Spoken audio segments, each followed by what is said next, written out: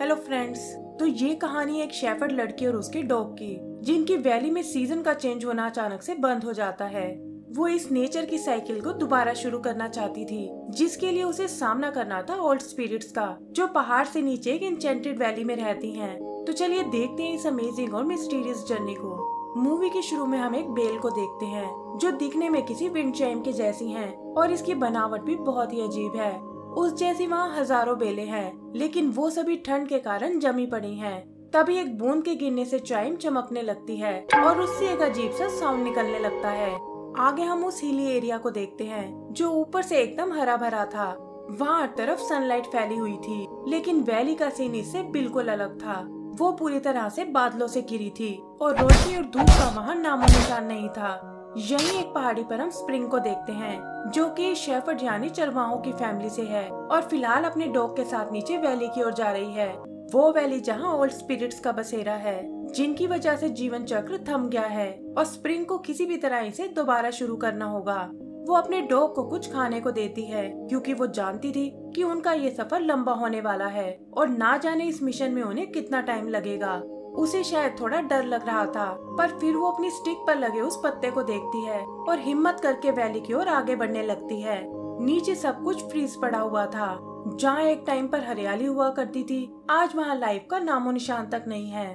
तभी स्प्रिंग की नज़र ऊपर की ओर जाती है, जहाँ वो ओल्ड स्पिरिट इनएक्टिव पड़ी हुई थी।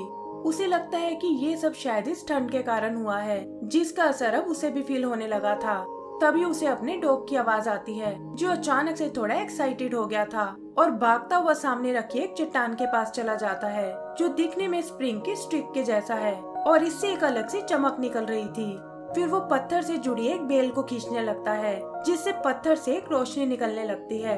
स्प्रिंग देखती है कि उस पर कुछ अजीब से निशान बने हुए हैं और वो समझ जाती है कि यही वो मैजिकल पत्थर है, जिससे कि उन ऑल स्पिरिट्स को समन किया जा सकता है। उसके माइंड में हज़ारों सवाल थे, लेकिन वो किसी तरह हिम्मत जुटाती है और पूरी ताकत से अपने स्टिक को उस पत्थर पर दे मारती है। इससे एक ज़बरदस्त साउंड निकलता है, जिसकी आवाज़ पूरे जंगल में गूंजने लगी थी और स्प्रिंग भी क्यूरियस होकर ऊपर की ओर देखने लगती है। उसे उम्मीद थी कि स्पिरिट पर इसका असर ज़रूर होगा और उसका सोचना बिल्कुल सही था, क्योंकि जल्द ही वहाँ कुछ हलचल होने लगती है।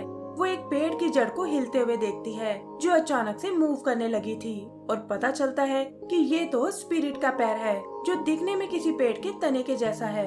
स्पिरिट खुद को अनफ्रीज करती है और बादलों से निकलकर सीधा स्प्रिंग के पास आती है। यही वो स्पिरिट्स हैं जिन्होंने बादलों को अट्रैक्ट किया हुआ है जिससे वो पूरी वैली पर छा गए हैं। दिखने में ये किसी एलियन मॉन्स्टर के जैसी हैं, जिनके एंटीना पर वैसे ही चाइम लगे हैं जैसा कि हमने मूवी के शुरू में देखे थे। स्प्रिंग जानती है कि स्पिरिट्स की लीडर है और झुक कर उसका वेलकम करती है। वो लीडर भी झुक कर उसे रिस्पॉन्ड करती है। वो समझ गई थी कि स्प्रिंग यहाँ क्यों आई है और अपने एंटीना से उसकी स्टिक पर एक म्यूज़िक नोट बजाती है। स्प्रिंग को उसके क्लाइंट ने सिखाकर भेजा था कि जवाब में उसे इस म्यूज़िक नोट को कंप्लीट करना होगा। वो ऐसा ही करती है और एक खास पैटर्न में अपनी स्टिक से उसके एंटीना पर हिट करने लगती है। स्पिरिट ने उसकी आइडेंटिटी को वेरीफाई कर लिया था और बदले में वो उस एंटीना से एक चाइम निकाल कर देती है। फिर जैसे ही स्प्रिंग चाइम को अपनी स्टिक में लगाती है, वो चाइम चमकने लगती है और हम देखते हैं कि उसकी स्टिक पर कुछ पौधे उगाए हैं। वो स्टिक को ज़ोर से ज़मीन पर पटकती है, जिससे एक बहुत तेज साउंड निकलता है।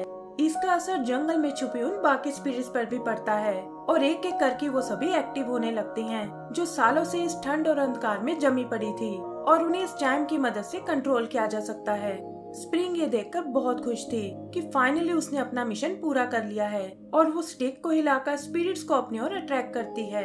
तभी आगे बढ़ते हुए स्पिरिट एक पेड़ से टकराती है जो सीधा स्प्रिंग के पास आ गिरा था। स्प्रिंग पेड़ से तो किसी तरह बच गई थी पर इससे वो स्टिक उसके हाथ से छूट जाती है। स्टिक पर लगा चाइम निकलकर नीचे लुढ़कने लगता है, जो सीधा सामने बनी एक खाई की ओर जा रहा था। इससे वो स्पिरिट से अग्रेसिव हो जाती हैं और उस चाइम के पीछे जाने लगती हैं, क्योंकि वो उसकी चमक और साउंड से अट्रैक्ट होती थी। स्प्रिंग का डॉग भी ये बात समझ चुका था। वो उस चाइम को पकड़ने उसके पीछे भागता है और स्प्रिंग भी उसकी मदद करने जाती है। डॉग उन स्पिरिट से बचता हुआ आगे बढ़ रहा था। लेकिन स्प्रिंग देखती है कि जल्दी ही चाय खाई में गिर जाएगा और वो उसे रोकने के लिए कुछ नहीं कर सकती। उधर वो स्पिरिट्स भी तेज़ी से खाई की ओर बढ़ रही थी, लेकिन इससे पहले कि चाइम नीचे गिर पाए, वो डॉग उछलकर उसे पकड़ लेता है और एक चट्टान से टकरा के घायल हो जाता है। स्प्रिंग जानती थी कि स्पिरिट चाइम के वश से बाहर आ चुकी हैं और वो ज़रूर उसे नष्ट करने की कोशिश करेंगी। होता भी बिल्कुल ऐसा ही है। वो स्पिरिट उस चैम को कुचलने की कोशिश करती हैं, लेकिन उससे पहले स्प्रिंग वहाँ पहुँच चुकी थी।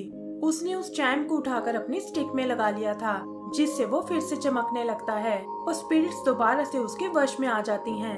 स्प्रिंग उसके पैर को वापस पुश करती है और देखती है कि उसकी स्टिक पर अब फ्लार खिलने लगे हैं। तभी उसे अपने डॉग का ध्यान आता है जो उसे कहीं नज़र नहीं आ रहा। पर जल्दी ही वो उसे देख लेती है, जो स्पिरिट के पैर को काटने की कोशिश कर रहा है। और ये देखकर स्प्रिंग रिलैक्स फील करती है। फिर वो स्टिक को एक बार फिर पटकती है। मानो स्पिरिट्स को वैली से बाहर जाने को कह रही हो, और स्पिरिट्स भी उसकी बात मानकर मूव करने लगती हैं। जल्दी ही स्प्रिंग उन्हें वैली से बाहर ले आती है, जिनके साथ वो क्लाउड्स भी हैं, और इससे वैली का वेदर बदल जाता है।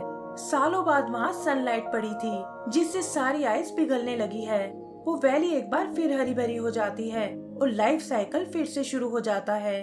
स्प्रिंग अपनी इस कामयाबी से बहुत खुश थी, लेकिन अभी भी उसे एक आखिरी काम पूरा करना था। वो उस चाइम को अपनी स्टिक से बाहर निकालती है और उसे पास ही बनी एक हिल पर टांग देती है, जहाँ पहले से ही वैसी हज़ारों चाइम्स बंदी थी। एंड सीन में समझ आता है कि उससे पहले भी ऐसा कई लोग कर चुके हैं, जिसका मतलब कि ये एक रैकरिंग प्रोसेस है और इसी के साथ हमारी ये मूवी खत्म हो जाती है। तो दोस्तों, अगर आपको ये मूवी पसंद आई हो तो प्लीज़ हमें लाइक एंड सब्सक्राइब करना ना भूलें। Thank you